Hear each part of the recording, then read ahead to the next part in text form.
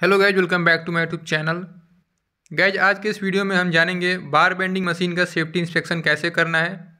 जो हमारे साइट पे बार बेंडिंग मशीन्स होते हैं, उनका इंस्पेक्शन कैसे करेंगे, इस वीडियो में जानेंगे।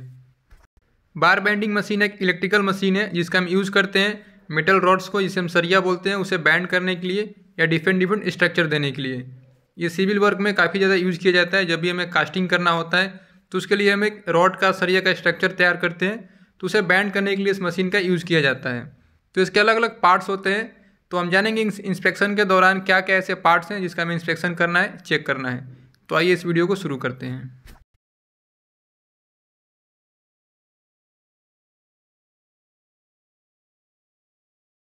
सो एज यूजल हमारे पास एक इंस्पेक्शन चेकलिस्ट है। ये चेकलिस्ट आपका बार बेंडिंग मशीन का है। इसमें अलग अलग पॉइंट्स दिए हैं। तो हम सभी पॉइंट्स को कवर करेंगे।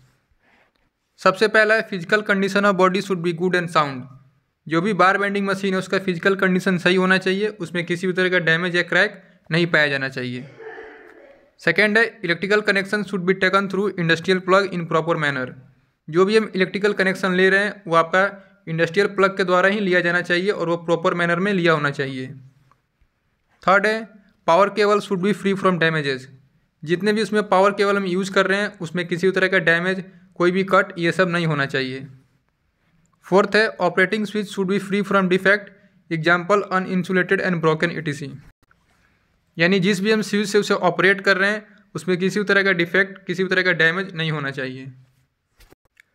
नेक्स्ट है emergency stop button should be mushroom headed with red colour जितने भी इमरजेंसी स्टॉप बटन होते हैं, वो कोई भी मशीन हो, उसमें जो बटन लगे होते हैं, वो बाहर की तरफ़ उभरा हुआ होता है और रेड कलर में होता है। तो ठीक इसमें भी इसी तरह का होना चाहिए।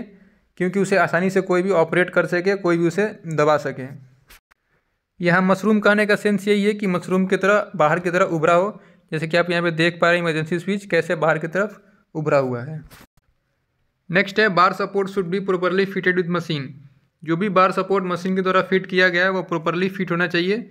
सही ढंग से लगा होना चाहिए। एट है pin should be free from loose fittings जो भी पिन उसमें लगाया गया है, वो लूज नहीं होना चाहिए। सही से फिट होना चाहिए। Machine should be guarded as per I S three zero four three one nine eight seven I S three zero four three one nine eight seven के अकॉर्डिंग मशीन में गार्ड लगा होना चाहिए। लास्ट है machine should be operated by competent person जो भी person उस machine को ऑपरेट कर रहा है, वो कम्पिटेंट होना चाहिए उसके लिए, उस मशीन को ऑपरेट करने के लिए। तभी वो पर्सन यूज़ कर सकता है उस मशीन को। तो आप इसको, आप भी पढ़ सकते हैं। इसका चेकलिस्ट का लिंक आपको मिल जाएगा डिस्क्रिप्शन में। वहाँ से आप डाउनलोड कर सकते हैं और इजीली आप यूज़ भी कर सकते हैं इसे एडिट करके अपने साइट पे। So thank you for watching thanks